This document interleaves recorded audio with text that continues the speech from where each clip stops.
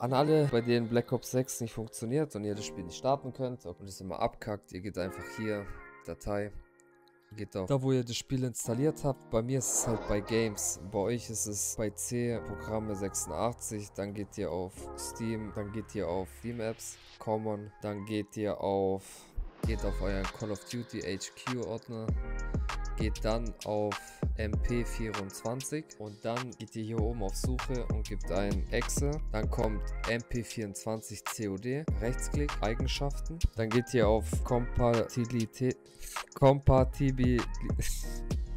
dann geht ihr einfach da drauf.